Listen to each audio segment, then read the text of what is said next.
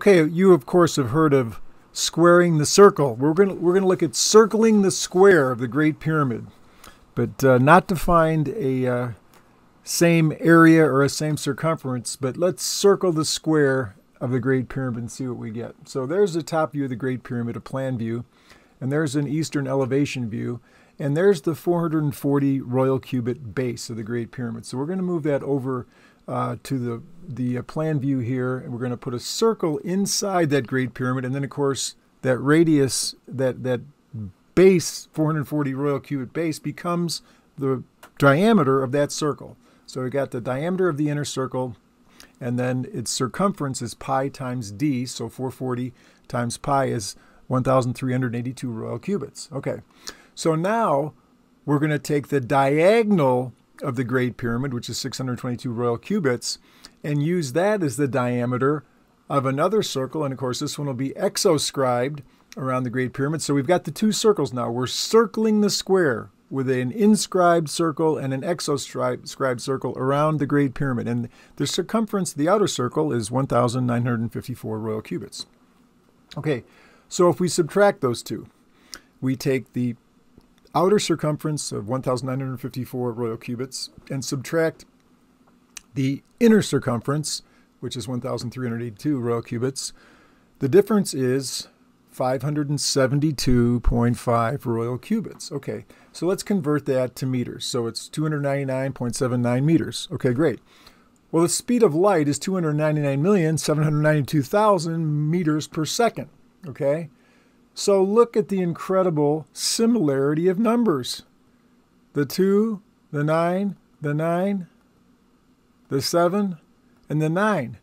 I mean, this is 99.9% correlation divided by 1,000. So, you know, I've done videos before about the speed of light in the Great Pyramid. I showed a way to calculate the speed of light based on the height and the capstone and then, of course, many people have shown the GPS of the Great Pyramid is connected to the speed of light. But here's the third way that the Great Pyramid is being associated with the speed of light. Okay, so I want to interpret this. In this channel, we, we try and unlock secrets. We try and discover things. We try and unpack things. We try and decode things. So, what, why? Why does this circling of the square? What's the connection to the speed of excuse me, the speed of light? So we've got three elements here. There's the square of the Great Pyramid, there's the exoscribed circle, and the inscribed circle. So it's a trinity of things. It's three simple uh, symbols. Uh, and interestingly enough, uh, two of them symboling heaven or eternity, the circles, and then the, the uh, Great Pyramid symbolizing a, a, uh, the earth. But okay, so we've got those three. And then within the Great Pyramid, the blue, the square, there are two lines that are critical, the base and the, the uh, diagonal, because those give us the circles. So you've got a trinity within a trinity. So, you know, a sort of an intimation of, of a divine power here. And then I thought of the Eye of Horus that we derived from, from Giza. We didn't invent this. If you do the sacred geometry of the, the pyramids, the Vesica Pisces, that Eye of Horus is formed. So it sort of looks like an Eye of Horus. So again, we're getting the idea, you know, of, of the idea of heaven looking down here. Okay, now here's some ancient symbols. From Egypt to Mesopotamia to the Americas, this symbol, this circle within a circle, stood for the male and female aspects of the original creation. So we're looking at a creator and you know a, a androgynous or hermaphrodite, you know, male and female. The mother, father, recalled by so many races, but the, as the creator. So this symbolism of circling the square, the Great Pyramid, is plainly channeling this creation, really the Zep Tepi, the original creation that the Egyptians refer to. And so, uh, but but here's the here's this this caveat though. So yesterday, Salty Lotus Gypsy posted this lovely picture and talked about all the symbolism, and I said so many esoterica and esoterics get lost in symbolism. One symbol interprets another symbol, and soon symbol becomes substance. That's dementia.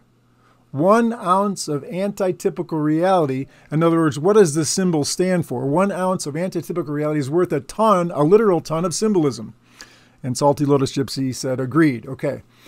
So let's plug that into what we're doing here. So I don't want to get lost in the symbols, the symbols interpreting the symbols. What I've tried to say that the, these are ancient symbols that symbolize the creator. And look at this one right here where the blue arrow is.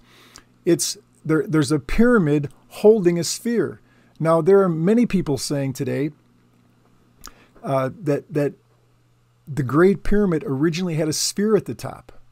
And so the Great Pyramid seems to be a, a, perfect symbol. It's got the circle circling the square. It's it's the pyramid shape. It had a sphere at the top apparently. So this symbolism is talking about the the well, let me add this. Let there be light.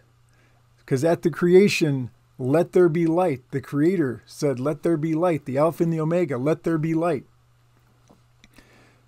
So again, you've got the three elements, two circles and a square, and then you've got the three within a three because there's two lines in the square that are that are critical. So you got the Trinity, you've got the Eye of Horus, the Eye of Providence watching out. You've got this idea of the world mountain because here's the picture of the, you know, the the, the mountain, the pyramid with the two circles on the top of it. And Charles Coast did a video yesterday about the world mountain, how that's associated with creation and all these different things. He calls them pyramids, like this structure, but they're the world mountain this this motif of which is symbolized by which is pictured in that symbol but that symbol is picturing all these world mountains. But what are they symbolizing? They're symbolizing the powerful mother father at creation the alpha and the omega creating and saying let there be light. Circling the square.